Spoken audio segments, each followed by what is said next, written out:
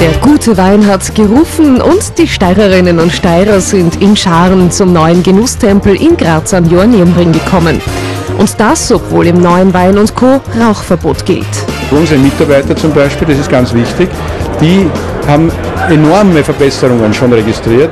Äh, bei Kopfschmerzen, die sie nicht mehr haben und die Haut wird besser und sie werden nicht so schnell müde. Man geht trotzdem in ein gutes Weinlokal, auch wenn man dort nicht rauchen darf. Das ist kein Problem, ich kann mir sie einteilen. Ich suche es mir auch aus, wo ich hingehe. Das ist kein Problem.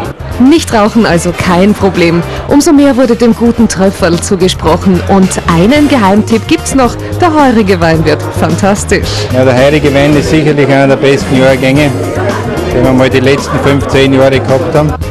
Der neue Weinsample hat täglich geöffnet. Guter Wein ist garantiert, gute Stimmung auch.